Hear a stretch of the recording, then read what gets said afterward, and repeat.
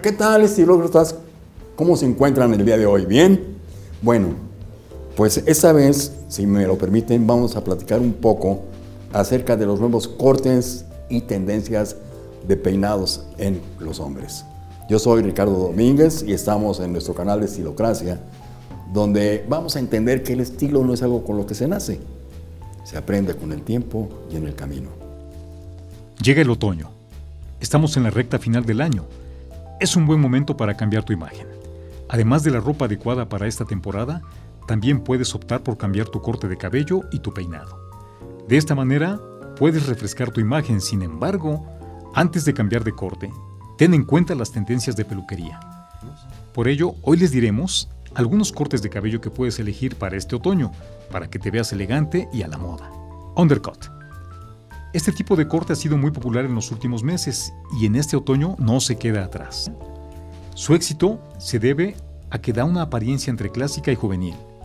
Este corte es característico por estar muy corto en los lados y dar mayor volumen en la cabellera del medio. Peínalo hacia atrás para obtener una imagen de mayor personalidad. Este es un peinado muy versátil. Además, te hará ver más alto y delgado de la cara. Tupé este estilo está enfocado sobre todo a los más jóvenes, pero que de igual manera buscan un estilo sin caer en la extravagancia. Este corte es muy vintage y clásico. Tiene sus orígenes en los años 50, asociado a la música rock and roll. En sus comienzos, Elvis Presley se peinaba así. El corte otorga una imagen más desinhibida y casual. Se caracteriza por tener mucho volumen en la parte superior y un poco menos en los laterales. Al momento de peinarse usa cera en acabado mate, pero usa poca, de lo contrario, hará ver tu cabello de manera grasosa y sucia. Raya a un lado. Siempre lo clásico te hará ver mejor. Además, es una manera de verte sofisticado y siempre a la moda, pues este estilo es atemporal. En sus inicios, la raya un costado era un estilo reservado para los militares de alto cargo. Sin embargo, en los años 40, pasó a ser un peinado de sofisticación para la mayoría de los caballeros respetables.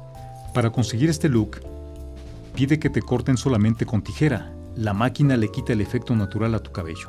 Pide más corto en los laterales y la nuca. Pero sin ser rapado, un poco desvanecido en la parte superior, pide que te despunten y te degrafilen para quitar volumen. Si tu cabello es un poco necio para peinarse, pídele a tu estilista o barbero que te lo corte para llevarlo con la raya al costado. Al momento de peinarte, moja tu cabello y usa un poco de gel o gomina. Peina con un peine fino hacia un costado o hacia atrás. Esto es todo lo que tenemos que decir acerca de los nuevos cortes para el año 2020. Espero que las imágenes los ilustren y que acudan a una muy buena barbería para que les hagan el que mejor les vaya a su rostro y a su personalidad. Muchísimas gracias por su atención y les recuerdo darle like al video, suscribirse al canal y tocar la campanita para saber que hay otro video en el aire. Gracias.